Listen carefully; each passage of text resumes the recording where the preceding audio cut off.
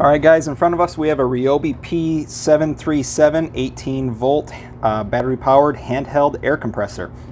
The point of this video is just to address why you're hearing a rattling sound inside of your air compressor and to address why you might be losing power. So to get started, you're going to need a, a small Phillips head screwdriver and you're going to need not necessarily small, but narrow. It has to be able to get inside of all of these little holes here to get the screws. There's going to be 10 of these holes, so remove all 10 screws, set them aside in a bag or a tray, and we will put those back in later. Once that is done, you are now from the bottom. I like to lay it first on its side, obviously remove the battery, and then lay it on this side, not this side, but this side. And now you're going to slowly just pry this open and just be gentle because this thing is already cheap as it is and it's prone to breaking.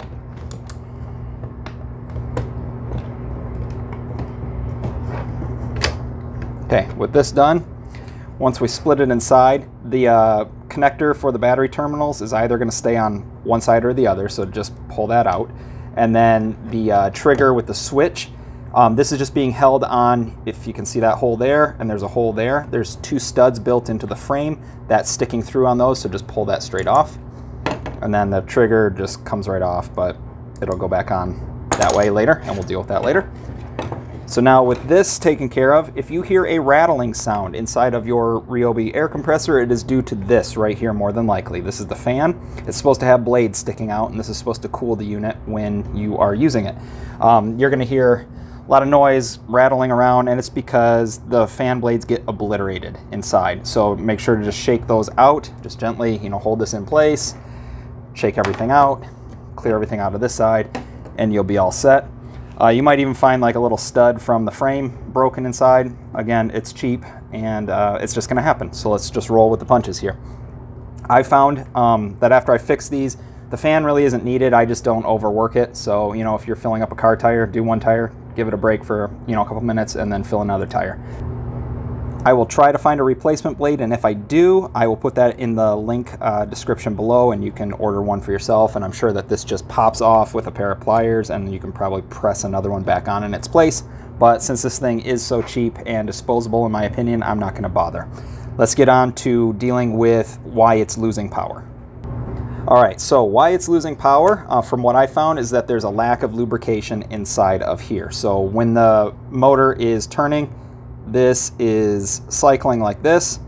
There is a, basically this is the piston in here and it's got rubber seals and O-rings in there and it's pushing air through here through a one-way check valve and um, I believe with the lack of lubrication air is just getting by uh, the seals and blowing back out this way and it's not all going through. So we're going to take care of that now. All right, what we're going to need to do is remove this E-clip here at the top and to point more precisely, it's this thing right here that spins around. And what I'm going to use for that is a small pick. You can use like a reamer on a Swiss Army knife or whatnot, but you're going to want to basically get this off and you want to do it carefully. So what I always like to do is take a towel because it takes some force to pry this off and when you do, if you don't have a backstop for it, it's just gonna go flying. And if you lose this, you're not gonna be able to put your unit back together. So let's just move the frame out of the way. Let's do a towel here. And your hands are going to get messy with this job.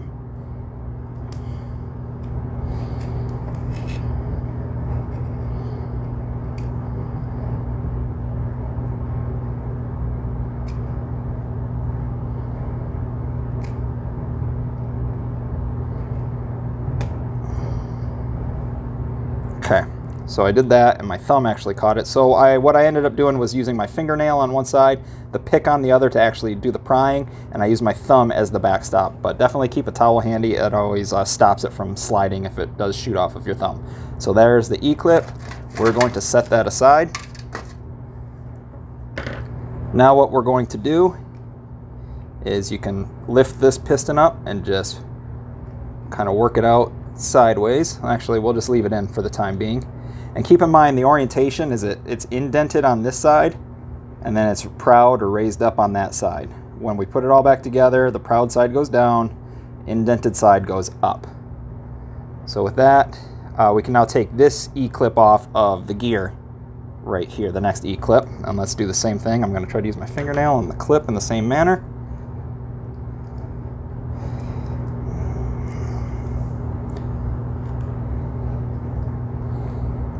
If I can... Hard to do this on camera while I'm standing above it. Okay.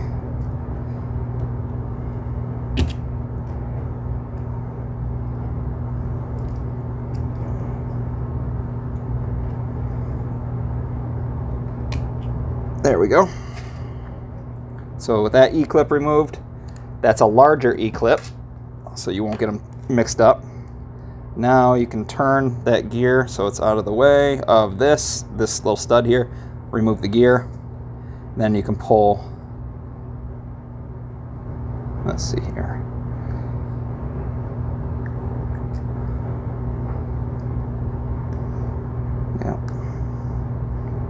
pull this piston out gently. And now what I found is that this uh, O-ring here is just lacking lubrication. And on the inside here, I've already cleaned this out um, and I need to relube it here, but on the inside, you're gonna wanna clean it out with a Q-tip. Um, you can use like some denatured alcohol or carburetor cleaner. I wouldn't spray it in there, I just spray the Q-tip a little bit and try to clean this out the best you can from all of the old um, oil that might have any metal shavings or anything on it. And then with that done, also just clean up anything else that you see. We're just going to apply all brand new grease here. And as you can see, that's just a rubber, rubber seal there. All right, so the grease I'm going to use is just what I happen to have on hand here, and it's just a multi-purpose grease, nothing special about it. And then the next step is personal preference. I recommend putting on some latex gloves just because this grease is going to get everywhere. And now the fun part. So we'll put a little bit on our finger here. and we're going to grease up the outside of this piston here. I'm not going to put any on the face of the piston because inside of there it's got to push the air. Uh, it's hard to see through that hole. It's got to push the air through there. So I don't want any grease uh, getting and blocking that hole. And then we're going to have the same problem and have to tear this thing apart again. So just around the edges and once that's done, we are going to slide the piston back in. And remember the proud side goes down, the indented side is up. We got to go in kind of on an angle. There we go. And we're all set with that part. Now I do put a little bit of grease on the gears. Not too much. Just a little bit here and there You can actually spin the gear while you keep your finger on it. There you go. Gets a little bit on there. I'm to put the big gear back on. Have it slide down there, make sure the teeth align. Um, I don't know if it's really necessary to put too much more grease on the teeth here, but you do you. All right, so now I'm going to remove this glove at least. And we're going to put an E-clip back on.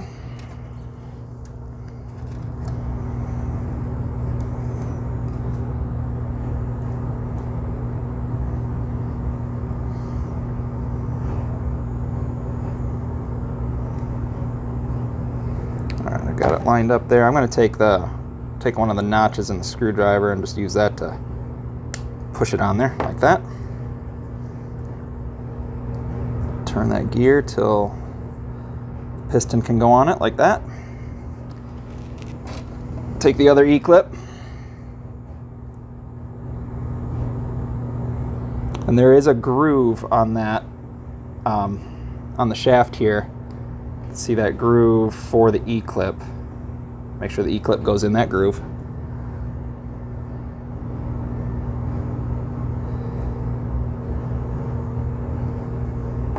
Same thing, once I get it aligned, I'll just take one of these little, the valleys and the screwdriver there,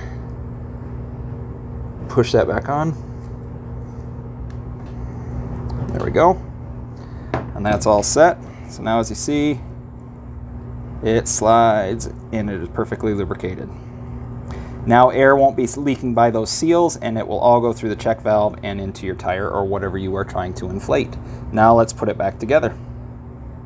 Okay, to put it back together, again, I take the left side and I lay it down. I'm now going to put this back approximately where it's supposed to go. There's a spot right here that's cut out and that rides right along here.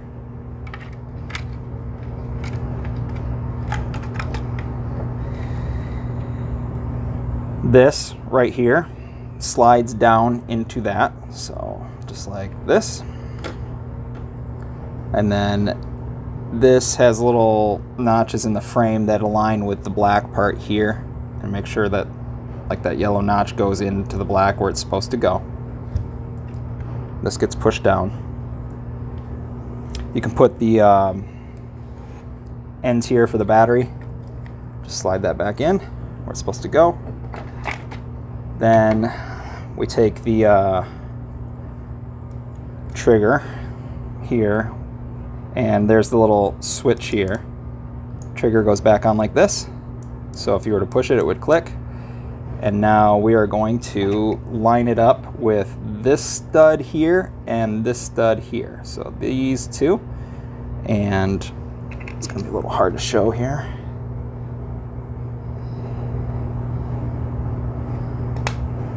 But just like that. Now we put this back together gently. And the main thing you got to worry about is if I can flip this, um, inside of here, these wires right here, the uh, black and the red one, they have to be behind this yellow plate. So just kind of gently with your finger, tuck those back in. And once they are laying behind it nicely, like that, then this should go together fairly easy.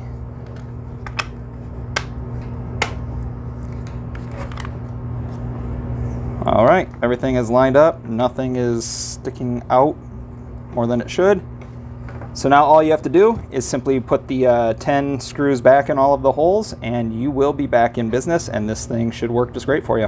Hope this helps you out. Uh, feel free to like and subscribe and um, take it easy guys. Thanks for the view.